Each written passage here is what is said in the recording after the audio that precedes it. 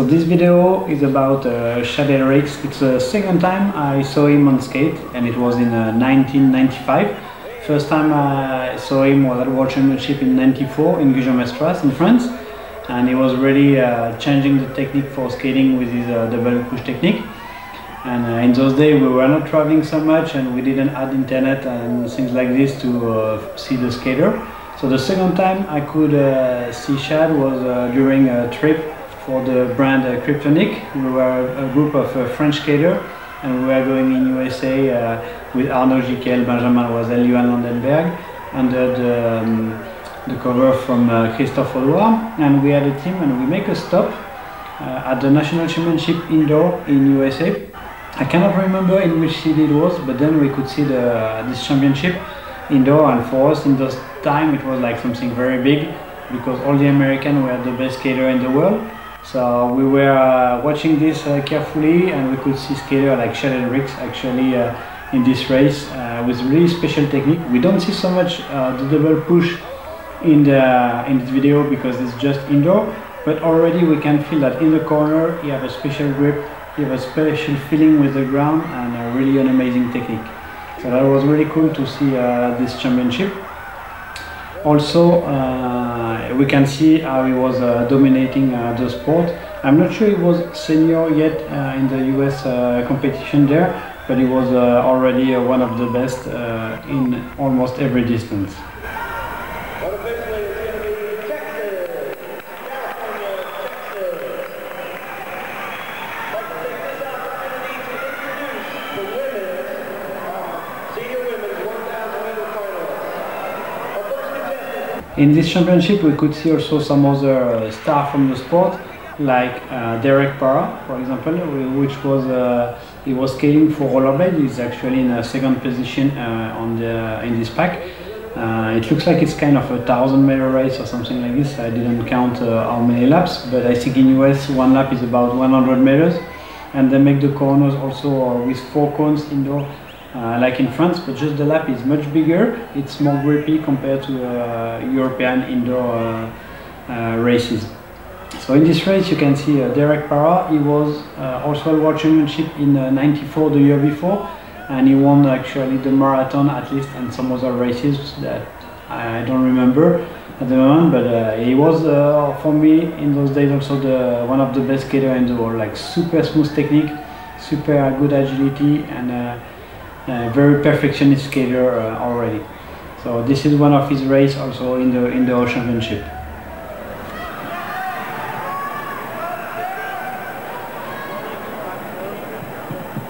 And it's nine laps to go.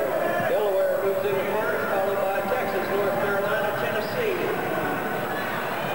Washington in fourth.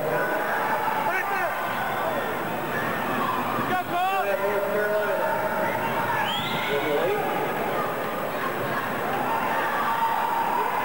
Seven laps to go, and the pace picks up. North Carolina, Texas, Delaware. Tennessee, Washington, Six laps to go. Takes over second place. North Carolina, Texas, Delaware. Washington right there. Four. Five laps remaining.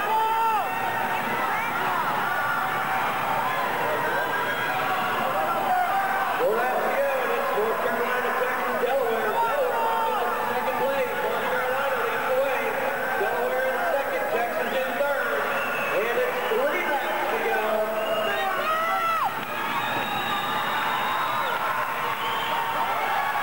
Delaware takes the lead. Two laps to go. Delaware, North Carolina, and Texas. Texas tries to move up. Texas moves into second place. There's disqualification. Delaware on the track. One lap to go.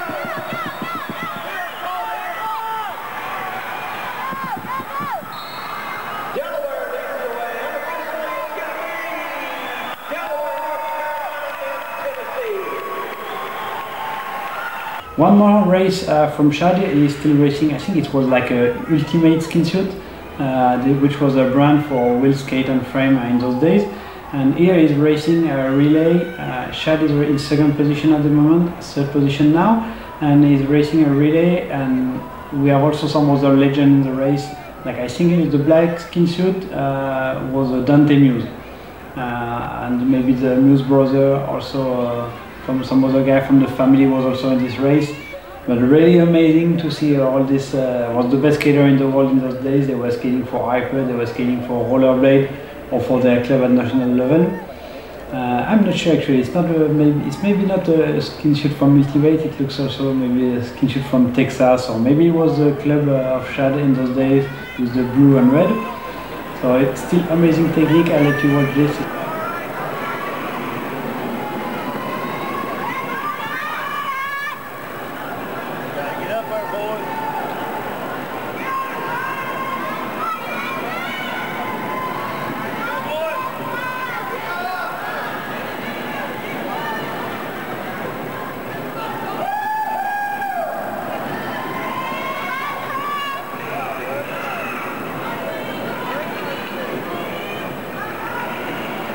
Forty-one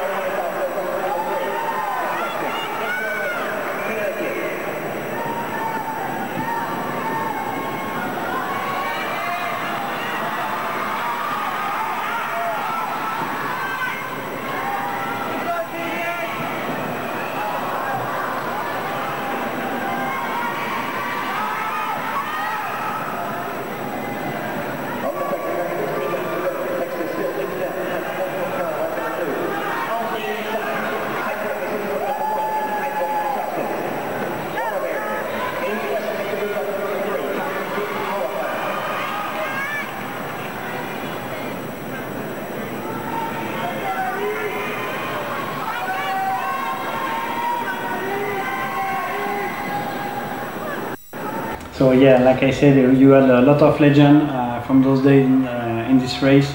Shelley Derrick, uh, I think Dante Muse, maybe Tony Muse, but I'm not sure. And uh, some other best of the best American skater also in this relay. Uh, really cool the way they make the relay indoor.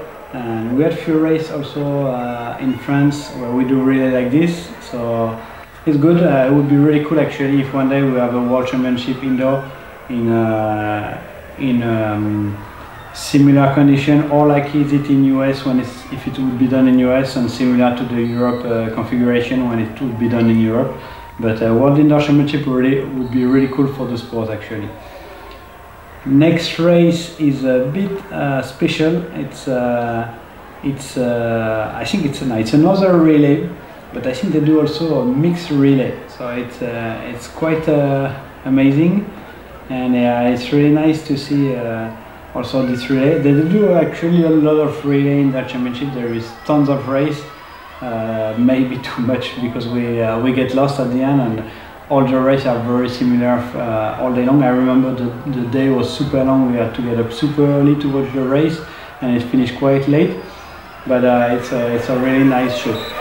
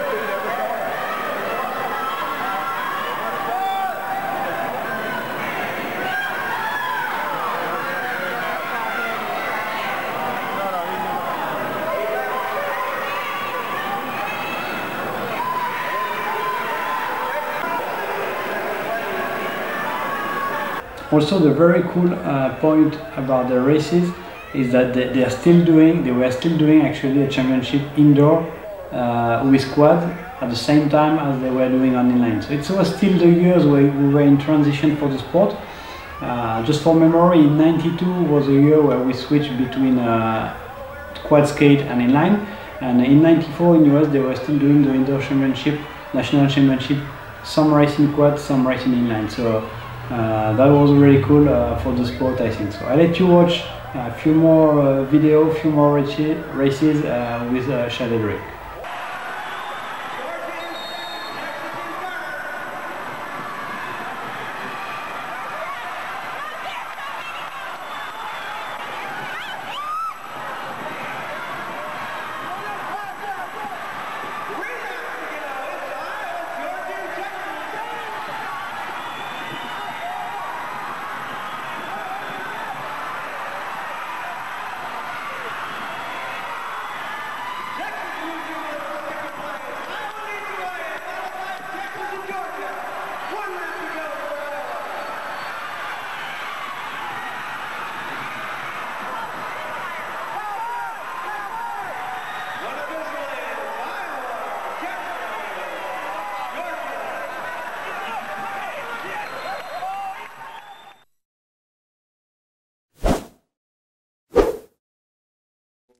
Rig. Thank you.